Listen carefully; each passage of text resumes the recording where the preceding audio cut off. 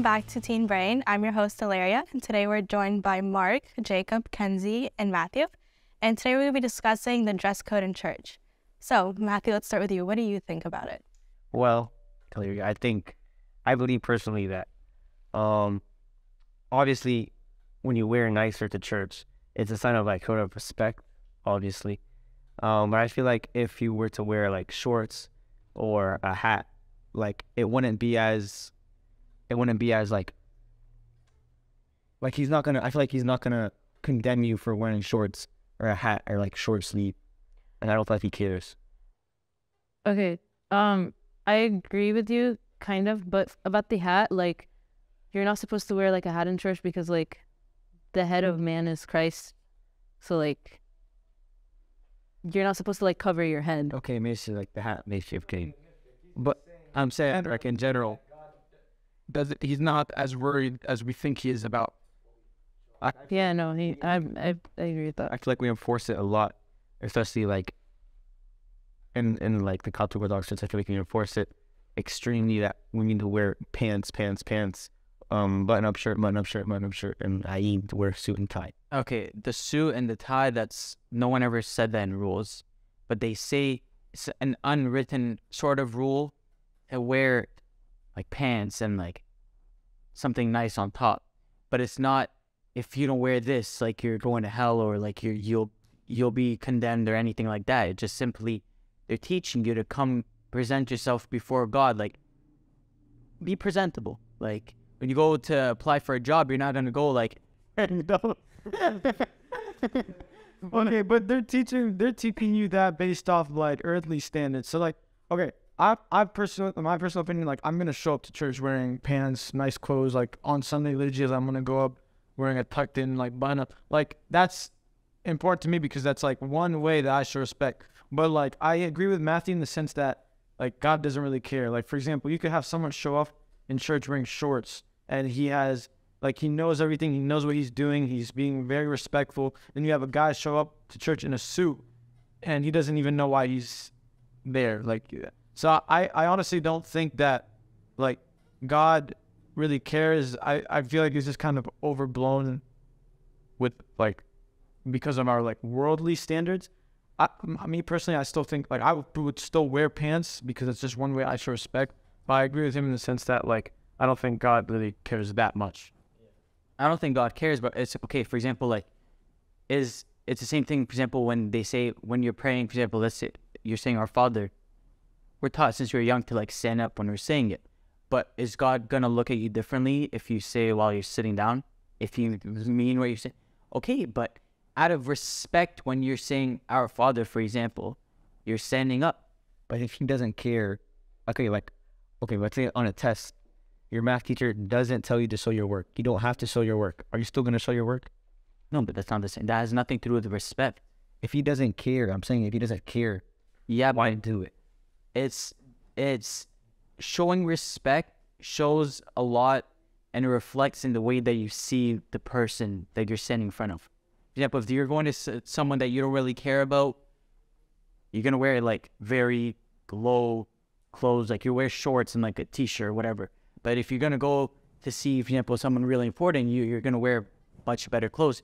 Yes, the person might not care, but at the end of the day, like the way you present yourself reflects a lot in the way that you see that person. Okay, but when you go see your friend, Yeah. like like yeah, like you when you go see your friends, like you you dress nicely, you Yeah. put a nice fit on, so like you feel good in that fit, but that fit you can't wear to church. Why? Because like you're still seeing someone that you like, God.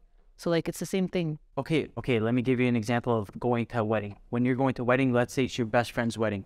If you go to your best friend's wedding and you're wearing shorts and a sweatshirt, one second, are they gonna look at you and be like, I don't want this person to be my best friend anymore? No, they'll still be your best friend, but they're gonna be like, oh, like this person's showing up to my wedding wearing that. Like they're not respecting the event and my wedding. Okay, I agree with you. I agree with you. But at the same time, that's because we're also looking at it from Earthly perspective. like an earthly perspective.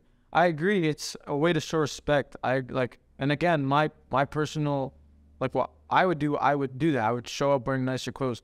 But at the same time, like, you could again you could have someone show up to liturgy wearing shorts and he's praying he's he has strong faith he's very respectful he knows what, he, what he's doing and then a guy again show up in a suit and just like have no respect for the church so i think like i think we're getting so stuck up on looking at it from uh like a man or like not manly but like a mankind like view instead of what God actually thinks about or cares about. Because he, let's be honest, he doesn't really care about that. He doesn't care, but it's just the way we, it just. How do you see him? You're not gonna one show up like wearing nothing. Like you, Okay, you know, look modest. Okay, like, let's say you're going to your best friend's house. What are you gonna wear? You personally. Okay, no, no, no. Or doesn't the church teach us to be as close as possible to God? As if, like, as if it's literally best friend. Yeah, Okay. but does that mean that because God is your best friend and your friend is your best friend, you're gonna talk to your friend the same way you talk to God? That's what they teach us. So you're supposed to talk the same way? I'm not gonna. Okay, obviously me. Obviously, that's the same thing. That's the same thing with how you dress. No, it's not. No, wait. That's the chain. No, no, but the way I talk personally, talk to my friends. Yeah, like okay, minus the language, minus everything. Yes, absolutely. Yeah, I, I talk to God when I my prayers. I talk to God like I'm having a conversation with someone who's standing in front. And he does have a point. That is what they like. That is technically, we should be talking to God as if He's our best friend. So like when we're frustrated with God, we should tell Him that we're frustrated with God. When we're thankful, we should tell Him when we're thankful. It's not. It shouldn't just be like, uh, just us. Like we should. We should be able to talk to God as if we have that like close like best friend relationship. But with the respect. Yeah, obviously with respect, but like it there there are so many things that we on earth like overblow and like clothes is one of them. Like it it's the clothes that you wear is not that is not mean is not really that meaningful. It's just kind of an extra thing on the side. Like that I, I, I agree with him in that sense. Like we should be talking to God as if he is our best friend. Okay, but it's the same. Okay, let's say let's leave God out of it. It's, it's the same exact thing with talking with your friends. Let's say talking with dad. Your dad is should be your best friend. You should be super close with him. You're gonna talk.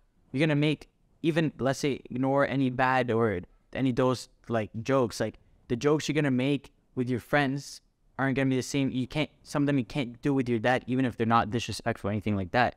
You just can't. It's, it's a different person. You have to show different respect. Same exact thing with the way you dress. No matter how close you are, no matter the church says you should be like, the, he should be your father. You should be like, you should be super close to them and all that stuff. But you still need to show the respect side. You can't talk Well, yeah, we're talking with everyone. we're not saying it disrespect. Your dad? Are you really close with your dad? Um, you can make jokes, but there are jokes that, for example, I'll make with Jacob that I can't make with my dad. But we're, we're not. No, it is respectful, but it's just the person, the person that you're looking at, he just at a different like stature than Jacob. Okay, I can wear whatever I want with Jacob that I can wear with my dad. Yeah, Okay, so it's the same thing. but it's not all the time. I'm saying God is everywhere, so you can wear that stuff at home. God is everywhere. You're talking to him at home, but when you go to his house, you have to dress in a certain way. You're at Jacob's house. That's yeah, I don't hear. You don't have to. That's the thing. You don't have to. It's just it's it's just another extra way of showing respect. You don't have to do that. You're not gonna lose anything. I'm not saying you're gonna lose anything, but I'm just saying that that that uh, word I can't. Uh, sorry for lack of a better word, but like that stigma of I have to dress nice. I have to do that. You don't have to. That's just an extra way of showing respect. Again, me personally, I would.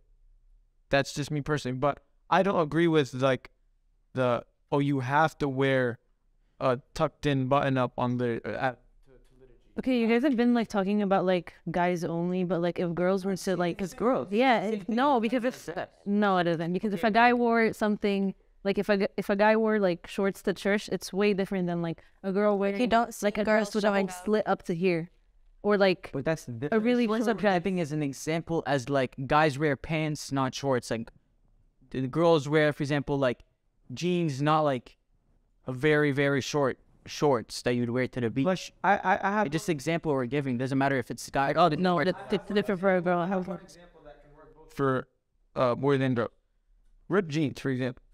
I it pisses me off when people wear ripped jeans to church, but that's just me. Is God going to care about that? Probably not. I I don't think He has a problem with someone. I don't think He really cares if someone wears ripped jeans. But me, because I'm on the earth and because I'm thinking it from like a, an earthly or like a worldly standpoint, that pisses me off when people wear ripped jeans to church. But can't He's not going to care. So that's like it. It kind of it. It's the same thing from both men and women. Like there's things that outer. Uh, that's just okay. Like, uh, let's say you're trying to wear nice to, let's say we're trying to wear nice to, um, to show respect to God, right? Couldn't you make the same, like, argument that in order to show that you're close with Him and you, you're not, you're not hiding anything from Him that you would wear comfortably, or not comfortably, like more, more laid back? the moment you're laid back and too comfortable, that's when you start messing up. When you're standing and like you're like on your toes, that's when like you're like, okay, I can go this way, I can go that way. Once you're laid back, you can do whatever you want. No, If you get too comfortable, you're gonna mess up. well, you get you mess up when you think that you know everything and you think that you can do everything without God. That's when you mess up. If you're comfortable with God and you have a healthy, strong relationship with God, as if He's as if He's your best friend, and like you're firm in the faith, you're not gonna mess up. If you're like, oh yeah, God is my best friend, so if I go to this party, He'll understand.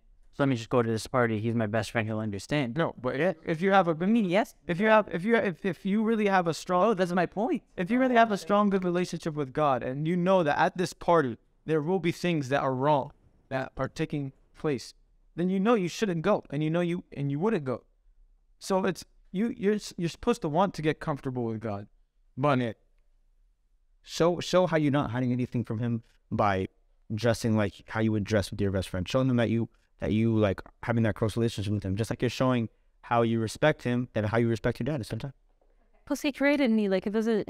Yeah, you Nothing he hasn't seen. yeah. Okay, you guys all had great arguments, all made great points, but now let's leave it to the experts. Welcome back to Teen Brain. I hope you enjoyed this episode of Dress Code.